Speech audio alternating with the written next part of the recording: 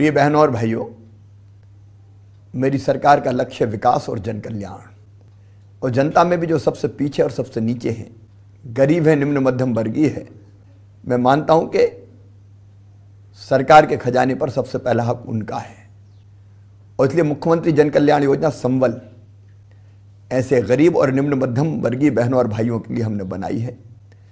इस योजना में अनेकों लाभ दिए जा रहे हैं, लेकिन मैंने देखा कई मेरे भाई और बहन बिजली के बड़े बिलों से परेशान थे। एक लाख पचास हज़ार कहाँ से गरीब और निम्न मध्यम वर्ग वर्गीय देगा?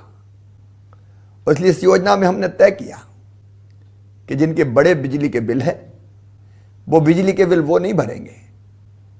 उनकी तरफ़ से शिवराज सिंह चौहान भरेगा, सरकार भरेगी। और इसलिए हमने मुख्यमंत्री बिजली बिल माफ़ी योजना बनाई। ताकि आपके बिजली के बिल हम माफ़ कर सकें। शिविर लगाए जा रहे हैं, रजिस्ट्रेशन करवाया जा रहा है। आप अपना बिजली का बिल लेके पहुंचिए, जमा करवाइए।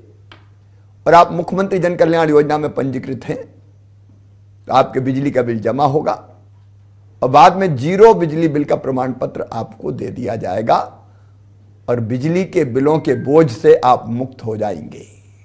घबराइए मत। बिल्कुल चिंता मत कीजिए। मैं हूँ ना।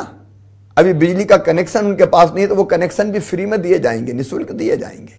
और बिजली से संबंधित छोटी मोटी जो धाराएँ, मामले 126 135 है 138 में दर्ज है, वो भी हम वापस ले रहे हैं। गरीब पे कैसा मुकदमा छोटा मोटा मेरे बहनों और भाइयों, खुली हवा में सांस लीजिए। इस योजना की अंतिम तिथि भी कोई नहीं है। इसलिए आइए इस योजना का लाभ उठाइए।